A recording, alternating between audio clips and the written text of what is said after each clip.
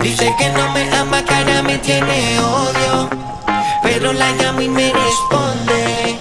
Todavía lo hace conmigo. I love you, baby.